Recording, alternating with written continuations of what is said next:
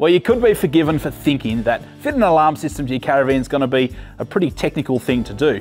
When in fact, when it comes to RV Secure, they've made it really, really easy to do.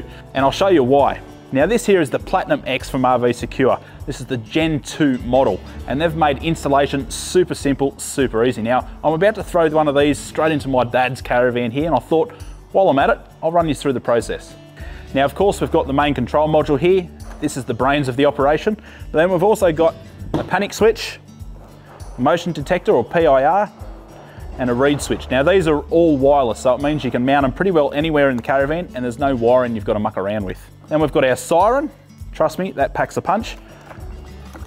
We've got our little keypads here to activate the alarm and turn it back off. And then we've got some stickers as well, just to let intruders know, hey, we're pretty well protected here. So the only additional things you'll need is some extra cabling. So I've run with some uh, twin core and also some tri-core, triple core, three core you could call it. Um, a little bit of conduit and some basic tools, some wire crimpers, some side cutters and a drill. We've got some instructions too. You can print these out off the website. Nice and simple to follow. Now with that in mind, let's get stuck into it. So the first thing we're going to do is fit this main control module here. Now it needs to be fit in a nice and flat location. It needs to be nice and straight so the internal motion sensors can work, but you can fit it north-south or east-west. And I've found a perfect little spot just in here.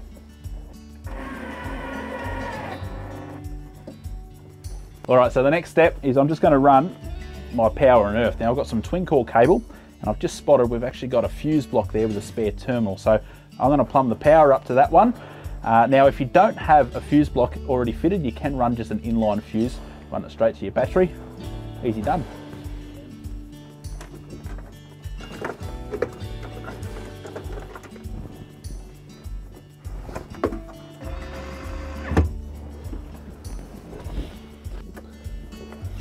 So with your power and earth sorted, it's time to drop the three core wire down underneath so we can tap in to those brake line wires. Now it's best, obviously, these wires are going underneath, so make sure they're well protected.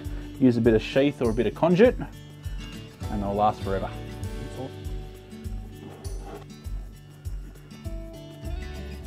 So the best thing to do is actually start tracking back all your auxiliary wires from the auxiliary plug right up the front. And if you're lucky enough, your caravan will have a junction box where all the wires meet and join that you can access. So I'm actually lucky enough, to, we've got some sort of a, um, a, terminal bridge here, which allows me to actually just plug straight into it. There's a few spare terminals.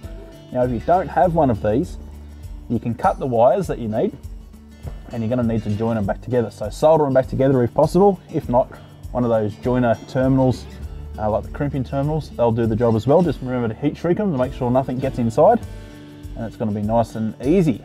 Now for this one, it's pretty simple. The red wire that comes from your main harness, that's for your stop lights. The blue wire should be for your electric brakes and the brown wire is for your park lights. And that's all the wiring. Simple as.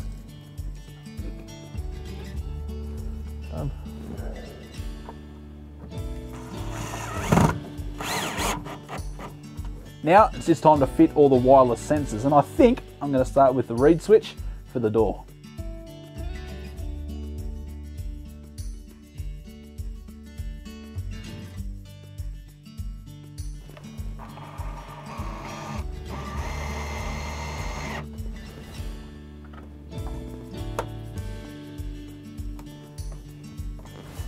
So I'm actually going to mount this siren up now and I've chosen to fit it in this uh, compartment box here.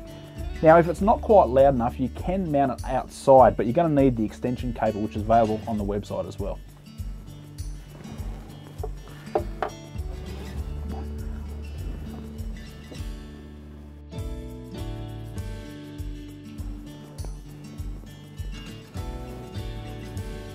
It's the moment of truth. Everything's plugged in, the sensors are all mounted up, and all I've got to do is press this little button.